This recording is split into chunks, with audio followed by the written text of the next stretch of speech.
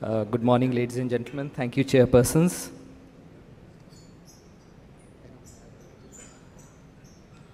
Uh, hepatocellular cancer, uh, it's a pretty common disease worldwide and uh, responsible for a large number of deaths.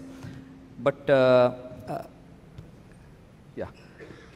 Now, uh, the HCC pattern is generally, what do you call, it's dependent on the hepatitis B and C prevalence in the, in the world, I call it different parts of the world. Now, if you talk about the Indian perspective, hepatitis C in India is low incidence, it's about 1.6. The hepatitis B is intermediate incidence, and uh, hep- uh, hepatocellular cancer is a low incidence in our country. Now, if we uh, talk about the uh, reasons for uh, staging, I think we should understand that uh, we do staging not just for hepatocellular cancer but for all cancers, mainly to stratify patients for correct treatment, to prognosticate patients, and to compare treatment between different centers. Ideally, a staging system should be simple. It should accurately stage and stratify patients, prognosticate patients, and should give, give a direction towards treatment. It should predict outcome and it should be universally and internationally acceptable. Now, that's where the simplicity ends and the problem begins with regards to HCC. The problems are that there are a lot of factors with regards to HCC which make staging very complex and multifaceted. Uh, the underlying cirrhosis and the performance status of patients are the two most important factors which lead to the confounding factors and make staging very complex. The other important factors are that there are certain prognostic factors which are not well defined, and this leads to problems. The prognostic indicators like albumin and other fact- other levels might vary during the course of the disease, and this causes problems for staging. It's been found that different staging modalities are good for different stages of disease. For example, if you have a given staging, it might be good for early stage disease, and a given staging might be good for an advanced stage disease. So these create problems. The treatment efficacy is another problem because in HCC you have a varied treatment modalities. For a given, say, 3 centimeter size tumor, you might have liver transplant, you might have ablation therapies, you might have resections, and for all these, the outcome would be different. So that creates problems. Now, the other thing is that it's been seen quite often that uh, disease from different geographical re- regions tend to have a different course, and as a result, the outcome becomes different again. And finally, the problem is of how to confirm malignancy. We have good uh, radiological criteria to differenti- to identify tumors which are more than two centimeters, but if you have tumors less than two or less than one, the, uh, uh, the ability to actually confirm malignancy becomes difficult because you might not have to do or you might not be able to do uh, histopathological examination of all of these. So what you end up having is a number of staging modalities just to show that none of them are very well accepted. Uh, this slide here actually, uh, it's, uh, I've tried to uh, uh, display the key characteristics of various staging systems. Now if you see the, the earliest one to be used was the TNM staging. We are using the TNM 7th edition now. It mainly relies on the tumor characteristics but does not include the liver function or the prognos- uh, the performance status of patients and therefore it's sort of an handicapped staging system. The Okuda staging was one of the earliest uh, to use the liver function criterias but the problem is that it was it, it's a very old staging system and the tumor characteristics are very gross. In other words, it's 50% involvement of liver or more than 50%. Nowadays, tumors are very detected very early and it's sort of lost its relevance in this present age. CLIP or the Italian staging program and the BCLC are the two uh, important ones. Probably the BCLC is most universally accepted.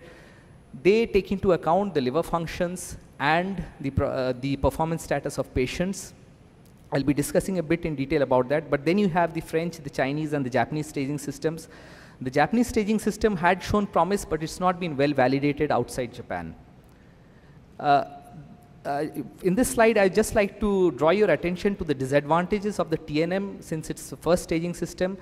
There's uh, poor stratification of survival at intermediate stages, and there's some lack of homogeneity. It is principally a pathological staging system, and it does not subclassify tumors less than 5 centimeters, and that's a problem. And the other problem is because it requires surgical specimens, it's not good for patients who do not undergo surgery. Now coming to the BCLC, I think this staging system takes into account smaller tumors, it takes into account the liver function and the uh, performance status and the patient's uh, associate conditions. And what it does most important is it gives a direction towards the treatment which is required. And this is not there in other staging systems. Uh, the other advantage is that especially for earliest uh, tumors, small tumors and the earliest stages, there is a distinct stratification and there is a significant difference in survival. This disappears towards the higher stages, probably in the more advanced tumors, which is a disadvantage for this. Uh, in this slide, I've just tried to show the validation of different uh, staging systems. You will see that the BCLC and the CLIP have been validated outside their uh, countries of origin and found to be quite acceptable. The Japanese staging system is not validated outside Japan, so that's a problem. Now, a very uh, a bit clumsy slide, but if you uh, uh, discard the last two studies, most of these studies actually have a combination of patients which are early and late, have non-surgical and surgical series, and these studies have compared different staging systems to see which is better. And if you see, mo in most of the studies, it's the BCLC and the CLIP which have uh, favorable outcome. It's only in the Japanese studies, two Japanese studies, where the Japanese integrated staging program has found to be better. But if you consider surgical series, especially those of resections and liver transplant, you would find that it is the TNM staging which scores over all the others. And this is very important. The first four in this list are uh, resections, the last two are transplant series. So that is uh, an important fact to be taken into account. So it's very confusing. We are still very confused about which staging system to, uh, to actually use. Now, if you come to the Indian data, uh, there are about uh, few studies. One of them, the first one from PGI, actually tried to compare different staging modalities in an Indian cohort and see which one is better. There's another study from AIIMS. Uh, it didn't specifically look for the staging modalities, but it drew some conclusions. The other studies didn't bring out any conclusions. Now, this is the PGI study, and if you look at this, uh, I don't think it's, uh, I'm not sure it's well seen, but uh, on univariate analysis, they found that age, then the MELD scores, uh, and the bilirubin level to be significant. On multivariate analysis, it was only the bilirubin level which was found to be significant. Uh, what this study found was that the CLIP, Tokyo, and BCLC to be most predictive. But the problem with regards to this study is that the small sample size, it's about just 100 odd patients, mostly advanced tumors, there's a referral bias, and very limited number of resections and no transplantations in this. Uh, in the AIIMS study, again, mostly advanced patients, if you see large tumors, portal vein thrombosis in 40%, distant metastasis is also there in the Okuda and BCLC staging, there was a significant number of patients in the higher stages. And what they found out was that the child's criteria and vascular uh, invasion and distant metastasis was significant and they found actually the Okuda staging system to be good.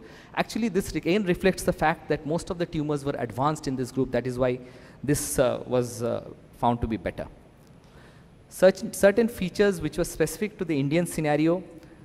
Incidence of HCC is low in our country. It's, the studies that we have are very limited and limited to few tertiary centers. Disease is mostly advanced. None of these published series actually assess the outcome after transplantation and very few are operated. I think a lot of data is yet to come from transplant series because uh, at least 10 to 20 percent of transplant patients actually have HCC, and I think some of my, uh, one of my speakers who will come later would probably dwell on that. Alpha fetoprotein is not sensitive or specific for Indian patients, and a couple of studies have found that FNAC should be used more liberally for our patients. There's one study from AIIMS which actually shows that screening is neither useful nor cost effective in our country, but I put a query because it's only one study. So in conclusion, staging for HCC is complex and multifaceted. There's no universally single staging system which is universally accepted. Overall, BCLC is good because it gives a direction towards treatment. TNM is probably better for surgical patients. Uh, inclusion of biomarkers and genetical markers in future would probably fine-tune the staging and of course further validation is required in the Indian population. Thank you.